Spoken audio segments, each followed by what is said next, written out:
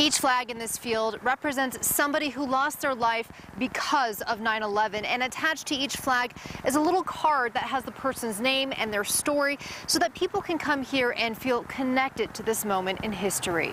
It's just hard to believe that uh, this many, this many. I mean, it just goes on forever. It's easy to get lost in the sea of stars and stripes. When you see the actual numbers standing out in front of you, it's just overwhelming.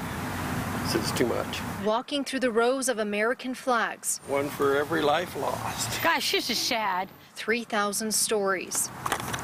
Each different and unique, Loved beautiful clothes so much she named her son Dior after Christian Dior. each connected in their tragic end. She leaves her mother, Sally, a sister, Leslie, and her fiance, Dan.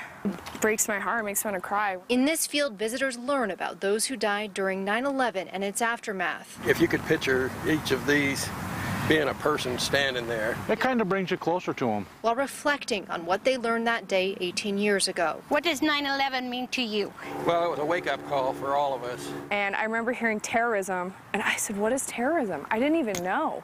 I, I didn't know. What they know now, they'll never forget. And here, Look, Beckham. Um, they pass it down. This field is sacred. So those who weren't alive back then will understand When they crashed into the towers, what makes up the fabric of our history. And that is part of how we never forget.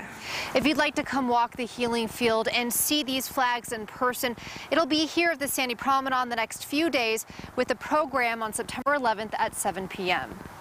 In Sandy, Lauren Steinbrecher, Fox 13 News, Utah.